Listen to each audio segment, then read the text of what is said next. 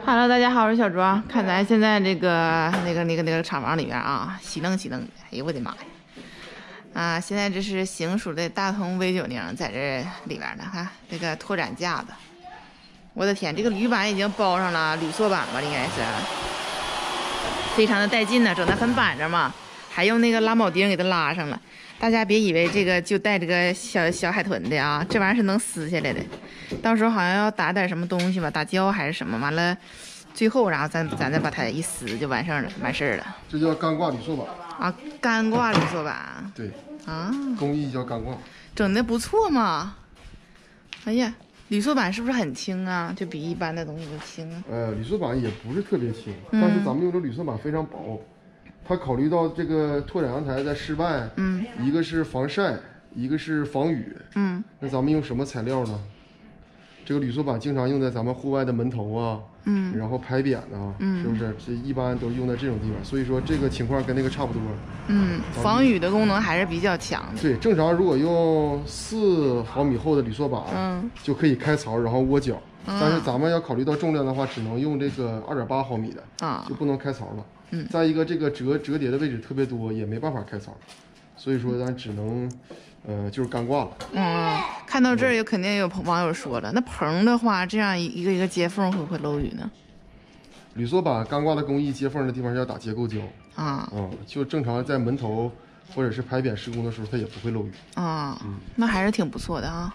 看看，哎呀，现在这个啊，今天一天，我和小舅俩人就把下面一圈板。才整这么点儿，封了二四六八十十二十二块板啊，嗯，特别难封。你看着是好像是没几块，但是反正面都有，是不是？它都它都不是那么规矩的东西啊，得一边安着一边修，是不是？我看你刚才还嘎了两刀。而且对，而且它还套色的，下面是灰色，上面是白色啊，嗯，就像一个墙裙子似的。也不错不错，就像咱们自己家那个。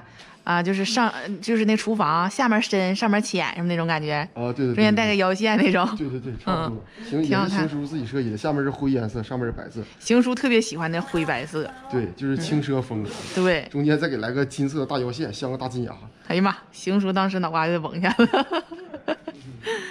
一步一步来吧。嗯，你看现在那个咱那个棚顶那个气撑没到，就只能先用这个自拍杆，就这个架，给它架一下。对对对。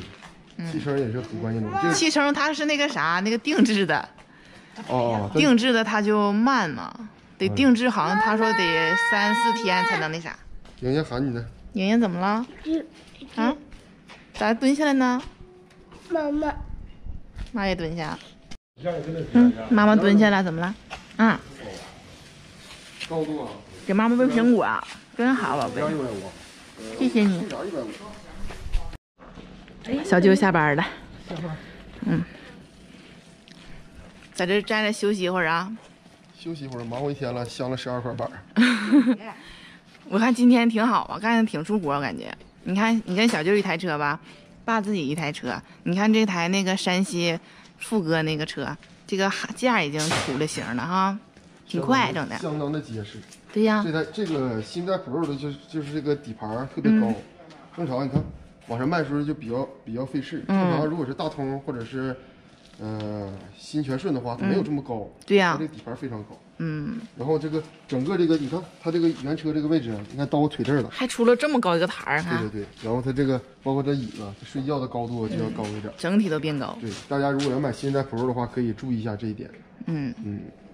现在都采取这种那个方案了哈，只焊中间这块架子，完了之后这侧还是就是不放架，直接打板，没有用，就是所有承重的地方都在这儿，这样能减轻一部分重量。对对对，就咱们这个两个模块分体式模块这个后置后分后置分体横床，嗯，这个模块。基本上到咱这儿来要改车的朋友，一看这个那个样子，嗯，就能就能喜欢相中了。对，基本就就没有什么改动。贼打眼儿那个那个样子，就照这个来就行了。对，一般都是这种情况。要我我也相中了。嗯，但有极个别的那个网友有自己想法的，可能中间这块也不要过道啊，因为他人家不准备往下拆。对，有的网友是准备往下拆的。对，这是属于无损安装，是不是？呃，也也会打螺丝打眼儿，没没有那么没有那么那就是像整装那么严重。嗯，那这个基本属于无损。如果要是你想拆掉的话，拉拉东西了什么的，你就可以几个螺丝嘎嘎一卸掉，抬下就可以了。对，这就很简单。也有也需要一定小小的动手能力，需要你会拧螺丝。那我也会。有的人有的朋友可能是真的就是搞文职工作的，啊就是真真的可能不会拧螺丝。啊。但是，一般咱只要是摸上手了，都能拧啊，很简单，挺带劲，非常出活，带劲。嘿，啥呀？